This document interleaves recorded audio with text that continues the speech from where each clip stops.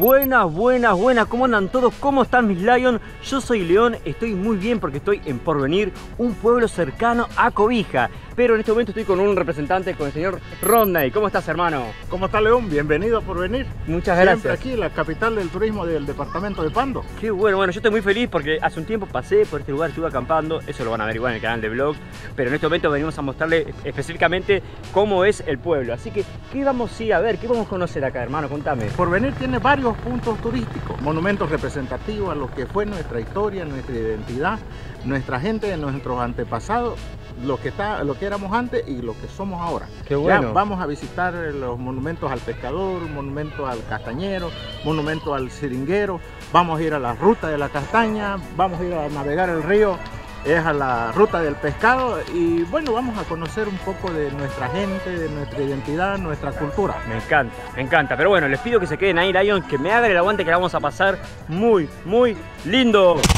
León, ya que estamos acá, te quiero, mira, mostrar el monumento al, al pescador de aquí de Porvenir. Enorme. Este, eh, Representativo esto, ¿no? Representativo de Porvenir, el surubí, que es declarado patrimonio del pueblo aquí en Porvenir.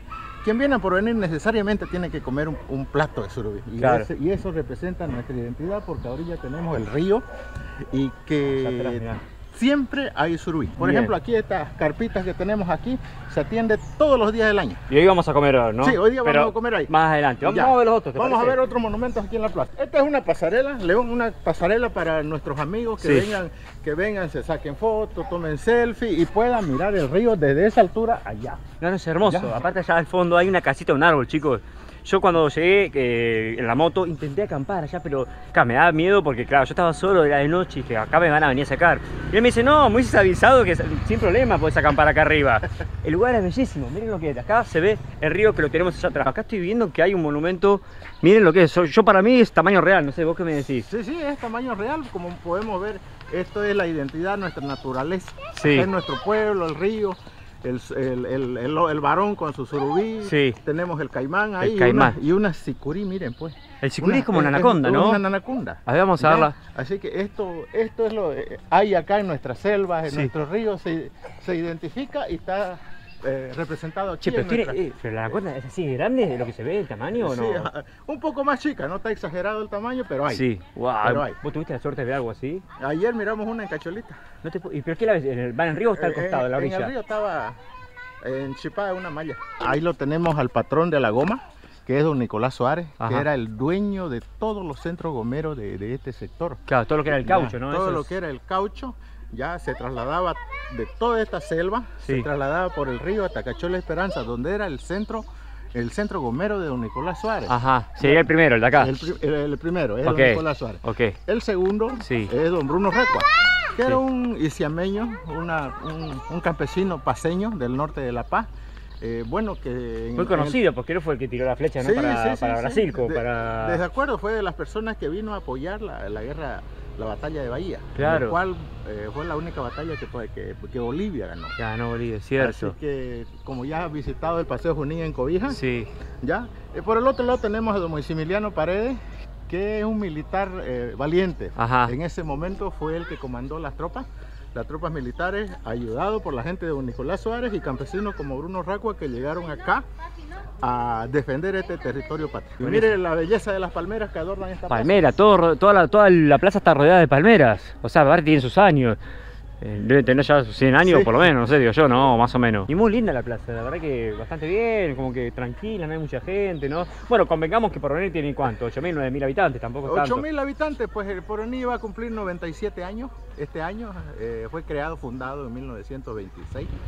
Así que acá tenemos actividades grandes eh, los meses de septiembre y octubre. Ajá. En septiembre normalmente este, empezamos con una feria del pescado. Como ya habíamos hablado del surubí, Sí, ya ha- hacemos una feria de tres días en septiembre, ajá. apoyado por todas las instituciones vivas del pueblo.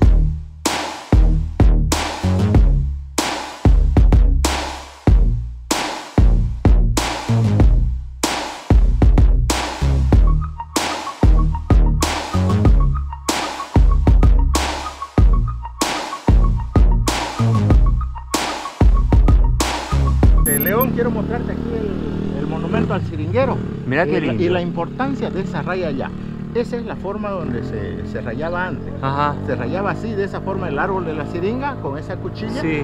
Ya, así, y escurría el látex de la leche Claro. que, que se hacía la goma, mira. ya. Claro, eso blanco que se Eso- va, va chorreando. Sí, sí. Y antes, normalmente, eh, venid, por acá, Sí. esta era la forma donde se hacía la goma. Así, esta forma tendría. Sí. Tenía. Y se vendía por kilo. Ajá. Por ¿Y kilo. esto es lo que exportaban? ¿Así, Esto. así era? Así en materia bruta se exportaba. Wow. Hasta que vinieron gente de otros países y se nos llevaron las semillas.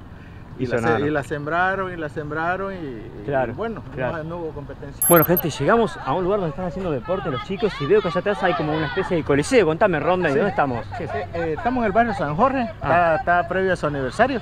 Y bueno, allá atrás hay- es un coliseo parquet, ya donde se hace deporte también. Día y noche. habilitado? Está Sí. habilitado. Sí. Ah, está bueno. habilitado, pero mire, Acá qué, grande verlo a los chicos jugando aquí en cancha, cancha de arena, ¿no? Canchita de arena. Así Aparte, que- lindo la gente divirtiéndose. Mira, mira, sí, con barra, mira. ¿Esto, ¿Esto es habitual acá? Tipo que la gente puede venir a jugar, así o hay que Sí, alquilarla, ¿cómo es? No, no, no, es abierto para todo público. Ah, Cualquier bien. persona que venga a divertirse Sí. puede hacerlo sin ningún costo. Qué lindo, che. Ahora estamos acá atrás en una feria que es una feria de emprendedores, de gente que tiene acá sus, sus productos. Y bueno, vamos a ver qué hay. Acá Ronda y me va a mostrar un poquito, ¿no? ¿Cuándo se hace la feria? ¿Cómo es esto, Ronda? Normalmente se hace esa feria cada aniversario de barrio, ¿no? O alguna fecha importante. Y esto se repite en todos los barrios. No, Ah, bien. no, no solo es en un barrio. ¿Y qué podemos Eh, encontrar? ya hay, hay productos, artesanía, ropa, qué sé yo, lo, Claro. que, lo que la gente precise. Bueno, puede vamos a ver. acá. Vamos a ver con qué nos encontramos así una pasadita como para complementar lo que es eh, los videos del porvenir. Acá, por ejemplo, estamos viendo que tienen artesanías con productos que es eh, coco, ¿es eso? De La- coco castaña. el coco, ah, coco castaña, mira. Todo es a base de castaña. Este, por ejemplo, es la, la semilla del cirar y la castaña. Sí.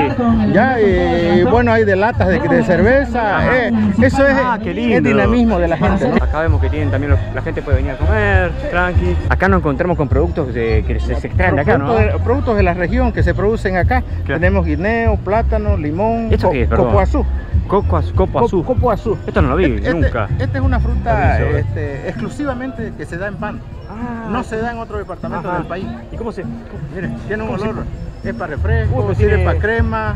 Está adentro, adentro, Ah. adentro su pulpa, su pulpa es blanca, blanca amarillenta. Esta es la pulpa del copoazú. Eh, Se lo hace refresco. Ah, con refresco. Refresco o crema, ese, pero no se lo cocina. Ah, ok, Esto directamente se come así. directamente, Ahí está, con algún complemento como el azúcar o algo así. Claro. Ahí mira, vemos que tienen el perrito. ¿Qué están haciendo? Se ve que ahí están algún vacunando. servicio veterinario. Ay, qué bien, quiero ver eso. Hola, una pregunta. ¿Qué lo trajiste acá de veterinario? Sí, ¿Y qué le hicieron? le pincharon. Ah, ¿qué para la rabia? Sí, Ah, qué lindo, ¿se te cobraron? Gratis. Gratis, mira qué lindo. Es, fundamental eso, porque uno ve perros en todos lados acá. Sí, pues. Y es importante tener un sistema así de vacunación para los animalitos y gratuito encima. Muy bueno, eh. Felicitaciones, gracias. eh. Y ahora quiero que vean esto que es raro porque tuvimos que salir a la ruta. Yo digo, ¿dónde me lleva Ronda? Y no, no, me trajo a ver el monumento al castañero. Enorme, miren lo que es esto, contame Ronda, ¿y qué hace acá? ¿Por qué tan alejado de la ciudad? Porque esto, este monumento es, es alusivo al castañero de pan, pero Claro. quien lo hizo fue un empresario privado. Ya, eh, bueno, y este es su terreno, él manda, comanda, es de él, pues, ¿no? ves? Pero es aperturado porque- a toda la población. Claro, uno puede venir a verlo sin problema. Sí, sin pero me encanta porque el tipo tiene su campo y dice, che, me voy a hacer un monumento. y Claro, no uno, me voy a eh, hacer más. Sí, Porque tiene otros. sí, tiene otros atrás, donde es alusivo al, al- al- castañero de, de- de Pando, de Porvenir, Claro. porque el 60% de la economía de Pando, eh, cuatro meses al año, vive de la zafra de castaña. Claro. El 60% de la población, el 60% de la- del circulante económico en el departamento es a base de la castaña. Muchísima gente me habla justamente eso. Me dice, no, ahora cuando voy a trabajar con la castaña. Y yo de entrada digo, ¿qué es esto que todos se van a trabajar con la castaña? Y acá lo tenemos. Está el tipo ahí rompiendo el, como el, coco de castaña. el coco de castaña. Lo vamos a ver igual hoy, ¿no? Sí, lo vamos a ver allá, vamos a ir a ver la vivo. planta de castaña en vivo. Monumento al castañero saliendo del monte con su panero cargado de coco. Ajá, ahí si se lleva. pueden dar, ahí los lleva. Ahí llega, mirá. El tipo va a trabajar el monte y se carga todo atrás. Y eso debe pesar, ¿no? Sí, pues debe pensar, tiene que ser un hombre fuerte, sano para cargar todo eso. Claro. Miren ahí. Miren el camino, estamos andando por una- un camino rural, digámosle, y te encontrás con otro monumento, con una castaña. Un coco, castaña. Claro, coco castaña le dicen ellos, porque está adentro en realidad. Bueno, gente, quiero que vean dónde estamos, ¿no? Porque así de la nada aparecimos en un eh, en pez de la selva, estamos en medio de la selva. ¿Dónde estamos, Ronda? ¿Y qué estamos, Estamos haciendo en la ruta de la castaña, el sendero del Tunchi. Ya, donde aquí tenemos pues la, eh, cómo es la vida del castañero Claro. en, en Pando, en Porvenir. Entran Algo- así, se meten a eh, los... entramos, entramos así. Normalmente este es el arma principal, un machete. Machete. Un machete. Pero eso para qué lo utilizan. Para quebrar el coco, para defenderse de, de alguna serpiente. qué sé Ah, yo, pues. puede haber acá hasta el Sí, animal. sí, sí, puede haber, puede Estamos en haber. la selva casi, Y, ¿no? Así sí, que... y mire, quiero mostrarle, querido León, la planta de castaña y la inmensidad a ver, y ¿cuál lo es? grande que es. Yo te, Vamos acá. yo te sigo, me vas diciendo, a ver. Esta planta de castaña me produce por lo menos mil cocos en cada zafra. Ajá, Aquí podemos encontrar el coco. mira. mirá. ¿Y esto está todo activo? ¿Cómo es? Uno... Ellos- el, el coco cae de arriba. Sí, ya con, sí. con cierto, cuando ya tiene una madurez suficiente, él cae de arriba automáticamente. ¿Ves? Ok. Aquí podemos encontrar algunos Claro, que ya, que ya, que ya han caído. sí. Este, pero Y, nos y que, y acerquemos que- a la y que- planta. dale, dale, así yo lo veo, puedo agarrar uno. ¿Y que ya estén acá significa que ya se puede comer esto? Sí, ¿O se puede comer, lo podemos abrir y adentro está la semilla. Más enseguidito vamos a ¿Y abrir. Esto no se, no, se, no se pense, no se pudre, nada. Este, cuando cae y la temperatura del sol lo, lo seca adentro, la semilla. Ah, ok. Ya él tiene que tener cierta cantidad de humedad para que la semilla mantenga y pueda brotar. Ya Bien. pueda reproducirse la planta. Bien, vamos a ver la planta porque ya de los lejos estoy viendo un arbolazo enorme. Miren lo que es eso, no, no puedo creer. Esta es. No, Tiene por lo menos 30, 35 metros de alto. Ay, yo no sé si se puede apreciar, la verdad, porque ¿Ya? con el lente. Pero, a ver, para que tocar acá. Ahí está, sí.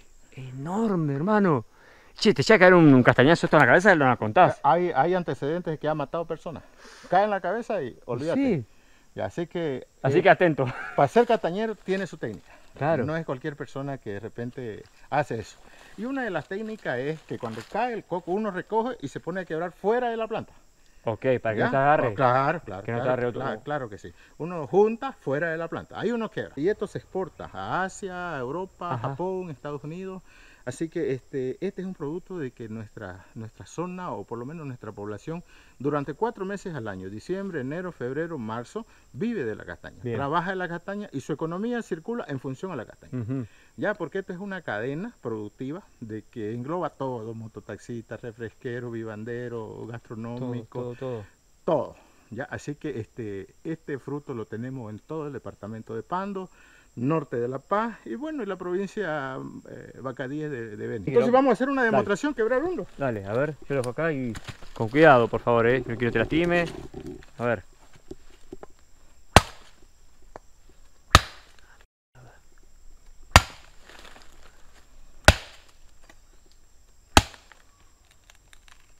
Wow, mirá vos, no te puedo creer que con cada uno lleva ese esfuerzo, hermano.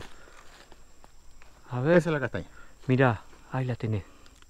Esta es la castaña, esta es la semilla. Sí, Esto todavía tiene un proceso. ¿ya? ajá, de pelarlo en la, en la beneficiaria de castañas, Sí. que hay algunas en Cobija, Sí. en Puerto Rico, Sena, Rivera Alta, sí, y ahí adentro está, está la, la semilla, lo que se come. ajá. Ya se estima, y según No tiene olor a Al- nada, por al- si le llama la atención. al- algunos estudios, Sí. eh, la cantidad de vitamina, una castaña tiene el valor nutricional como de dos huevos. Ah, pa. Mirá vos. Así, pero nosotros acá normalmente con el diente. No, uh, no, yo ya no te lo hago, eso, estás loco con lo que salen los dientes, no, no. no, no, Son no. dientes sanos. Claro. Bueno, hacelo vos por las dos, yo no, no me arriesgo tanto. Ya está la semilla, mira. Mirá, ahí tenés, uh, qué linda que se ve. Y esto es sumamente delicioso. Sí. Paramos un toquecito acá porque me estaba mostrando Rodney que estas son las bolsas de castañas. O sea, así es como parten desde, desde acá, desde la recolección, las llevan hacia, no sé, ¿hacia dónde van? Ah, La hacia- beneficiadora puede ser Cobija, El Sena, Rivera Alta. Ah, ok. Ya, allá entra un proceso de beneficiamiento que se llama, que es prácticamente el- limpieza de la castaña, luego selección. eh, hay tres tipos de, de castañas, eh, se selecciona y luego se las pela. Ya, se Claro. las pela y, le entra un proceso de cocción ya para eliminar bacterias y hongos y, y eso se empaqueta y se exporta. Miren, les quiero decir algo que yo no me había dado cuenta hasta hace un ratito, y es que tanto estamos hablando de la castaña, y para nosotros los argentinos la castaña es la, la almendra. La almendra. La almendra, cuando él la partió, lo miré, es una almendra, con razón es tan cara, allá es carísimo, no te das una idea de lo que es. Y vos decís, ¿por qué es tan caro? Claro, porque ahora entiendo el proceso, imagínate que lo van a sacar con un machete a la selva, se mete, y todo lo que lleva y después lo tienen que, lo tienen que transportar y se va a una Sí, planta. Aquí hay alrededor de 300 bolsas. Mirá, por ejemplo. Cada bolsa ahorita tiene un promedio de precio de 200 bolivianos, pero años anteriores este, ha valido 1.800 bolivianos una bolsa. son casi 300 dólares, 250 dólares, una, una bolsa, y ahora está valiendo... 200 bolivianos que es que es cuánto menos. Eso igual le pagan al- a los productores. Al productor, O sea 30 que dólares ahorita. Después va subiendo, porque esto Sí. termina carísimo pues. Sí, sí, pues porque ahorita este, el, el mercado es que más o menos domina el valor, ya el, el costo. Ahorita ha bajado la, la adquisición de castaña, o sea, no hay mercado. Claro. Por algún tema que pasa en Europa, no, no hay compradores. Entonces el precio baja. Ya casi estamos terminando, nos falta un poquito, un poquito bastante, porque vamos a hacer la ruta del pescado todavía, pero quiero que vean acá atrás, primero este árbol, miren lo que es, hermoso, que para mí es un palo borracho, no sé, ¿cómo se llama? ¿Cómo le dicen ustedes? Ocho. Ocho. Ocho. Ocho. Ocho, Ura crepitán, su nombre técnico. Tira, ¿puede ser que tiene unos copos blancos tipo algodón? Sí, sí. Ah, entonces es el mismo. Es el mismo, mire, tiene espina. Tiene espina. tiene espina y, y su fuste es... Exactamente. La base es bien redondo, ese palo borracho para nosotros por lo menos. Ese tenemos un lado que se lo ve bellísimo, nunca lo había visto tan florecido. Tan florecido, medio rosado. Rosado. Hermoso. Y de este lado tenemos una iglesia hermosa. Tenemos la iglesia del pueblo, que es la iglesia Inmaculada de Concepción. Ajá. ya donde todos los feligreses eh, venimos a, Claro. a de- a dejar nuestras, nuestras penas aquí a la iglesia. ¿Y es, es nuevita o qué onda? Pues se ve linda.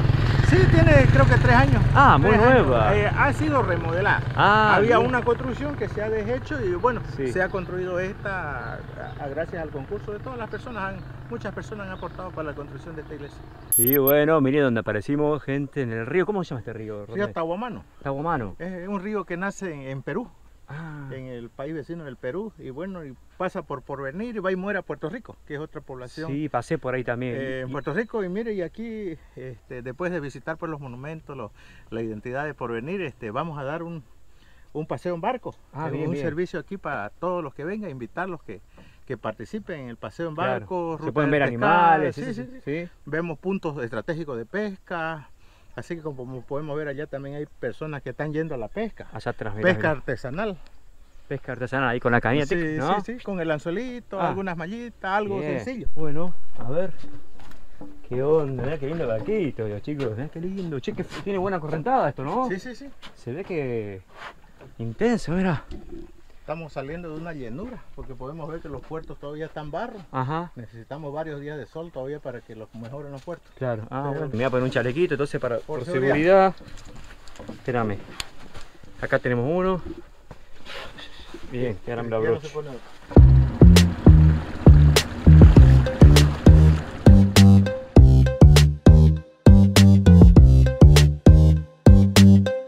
cuento que este paseo en barco se le dice así porque está haciendo la ruta del pescado. Todo esto que está acá es eh, donde los pescadores va, eh, agarran sus- peces y después los venden aquí en Porvenir, digamos. Eh, me contaba recién Rodney que los peces van en contracorriente, o sea, la corriente va hacia allá y ellos nadan para desovar en contra. Así que muy lindo viaje para hacer también. Nosotros estamos ya hace unos, no sé, 10, 15 minutos dando vueltas. Me van a llevar como para allá hay una especie de una islita y ya después vamos a pegar la vuelta. Fíjense que uno puede ir viendo animales. Porque, por ejemplo, acá, mirá, hay tortugas. Ellos, ellos le dicen preta. Preta, ¿no? Peta. Ellos le dicen peta, son tortugas. Mirá, mirá, mirá. mirá. No, qué bonito. No sé si las pueden ver ahí. ¿no? Sí, claro, cómo no las puede ver. Las peta tomando sol. Y vean también que el río estuvo más alto. Estuvo más alto, ¿no? Sí, sí, sí, Estuvo- estamos saliendo de una inundación. Ah, Y así que por eso es que tiene, los barrancos todavía no están estables, están Claro. fangosos. o sea que fue Ya, un y la fue sí, sí, enorme. ha llenado como 12 metros arriba el agua. ¿Este es el mismo que, que sea Sacobija, el mismo río? No, no, no. Ah. El Cobija es el río Acre y Ah. acá este es el río Tahuamán. Ok, porque también el de Cobija creció Se ha tanto. crecido, todo, sí, fue todo. toda la zona del agua. Bien. Allá a un troncazo enorme, está pegando la vuelta el, que- el conductor, no sé cómo se dice. Y acá hay un montón de palos, así que él tiene que venir adivinando, no checar ninguno. Sí, sí, sí, con cuidado. Con cuidado, él le tiene que agarrar por el medio. Tingui, tingui, y vamos a llegar, miren lo que es aquel árbol, chicos. Una bestialidad. Dicen que los árboles tienen la misma raíz, o sea, la de raíz tiene lo mismo que la copa. O sea, según la copa que es enorme, la raíz tiene que ser igual para sostenerlo, más o menos. Pero mira, es la primera vez que veo esto. Un árbol tan, tan grande en mi vida. Ahí recién estábamos viendo un barco que hacen pesca artesanal y bueno, uno puede alquilar inclusive un banco para eso. el barco te deja la parte que vos quieras, no sé, y puedes tirar tu línea, te esperan, o te pueden pasar a buscar inclusive. Eh, hay un par de islas que recién pasamos por ahí y puedes bajarte, es parte también del recorrido. Nosotros porque estamos mostrando un poquitito porque bueno, hay que sintetizar el tiempo, pero se puede, se puede. Gente, ya llegamos, estamos terminando, casi tengo un hambre yo. No sé qué- decime qué puedo comer, ¿dónde vamos a ir a comer? Vamos a ir a Canteño de Anaza, ahorita al frente de la plaza principal de Porvenir, a comer un surubí frito, que es el plato tradicional acá en Porvenir. Bueno, Los entonces, invito a todos que algún día puedan visitar Porvenir a degustar este pescado. le damos las gracias al muchacho. Hermano, muchísimas gracias, eh. Muy amable. No, por favor, gracias. Bien, a comer, gente. Y ahora sí, miren, Lion, qué platazo que vamos a comer. Tenemos surubí. Surubí es un pez, obviamente, que sacar acá del río. Y bueno, están todos los chicos. ¿De dónde son, chicos, ustedes?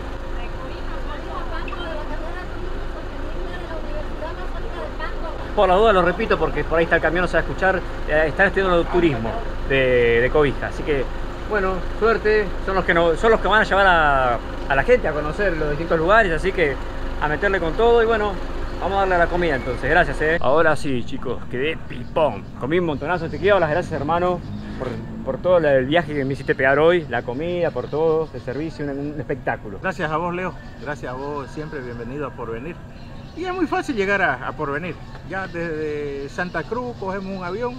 eh, En Cobija tenemos aeropuerto internacional o desde La Paz, igual en avión, a, a Cobija y de, de Cobija taxi. a Porvenir un taxi de 10 bolivianos. Súper simple. Súper simple llegar acá y podemos conocer toda, toda nuestra cultura, todas nuestras tradiciones, toda nuestro, nuestra historia reflejada en los monumentos, en el turismo aquí en Porvenir. En la Podemos- gastronomía. La gastronomía, También, este, súper recomendada, como ya hemos visto el monumento al, al surubí, que es declarado patrimonio de nuestro pueblo. Y bueno, invitarlos aquí al Canteño de Anaza. Ahí tenemos, mira. ¿Te pueden ver a vos ahí si vienen? Sí, sí, claro, aquí, aquí siempre me van a ver. Cualquier Me- servicio que necesiten le escriben ahí. Igual va a quedar el contacto en la Eh, descripción. Sí, sí, el Dejamos teléfono. contacto eh, en el, en el Facebook normalmente estoy con Rodney Terraza Aventura. Yo igual lo dejo en la descripción, así que ya saben que si quieren venir acá y necesitan, ya lo conocen como es Rodney, así que les va a dar un buen, buen servicio turístico por aquí. Así que hermano, te doy las gracias nuevamente. A vos, Leo. Y bueno, a toda la gente los invito como siempre a que dejen un comentario, a que compartan para que el video se pueda seguir viendo. Y eso, chicos, espero que lo hayan pasado lindo, les dejo un fuerte abrazo y nos vemos en el siguiente video. Chau, chau, chau, chau, chau, chau, chau.